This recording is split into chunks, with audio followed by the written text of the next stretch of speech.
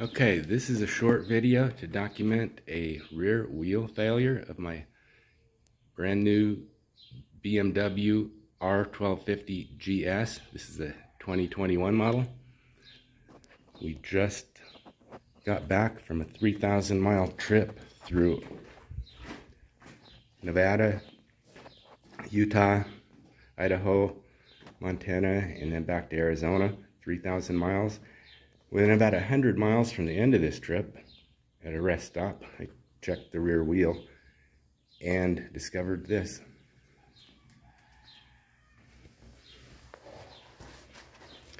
If you look close, you will see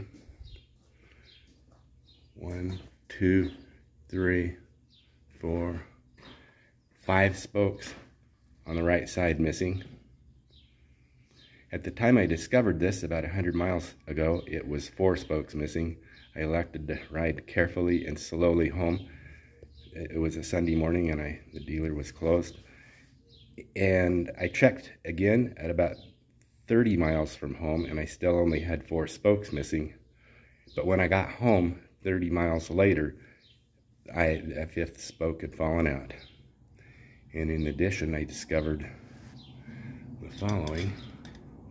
On the left side of the wheel, I have three very loose spokes. There's two of them, and a third very loose spoke over there. So this wheel clearly was on the verge of failing catastrophically. At the time, uh, during the trip, we were heavily, we were riding two up. The bike was had Jesse bags, both sides and the top, fully loaded, heavily loaded. The weather was very hot, very hot. A lot of freeway cruising. And uh, basically that's it. Uh, the truck, uh, I've called BMW. The, uh, there's a tow truck on the way to pick this bike up now, hopefully for warranty service. The truck is on its way. And uh, this bike will be on the way. In fact, there's the tow truck right there. This bike will be on its way to BMW um, shortly for hopefully a warranty repair of this rear wheel.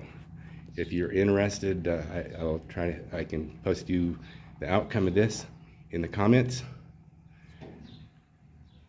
Otherwise, that's it. Thanks for watching.